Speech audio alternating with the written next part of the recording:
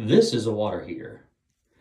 If you take a look right here, this is why I say you should always treat water heaters because this is actually roach droppings, poop. All right, looks like they're going in around this hole right here, living inside the water heater.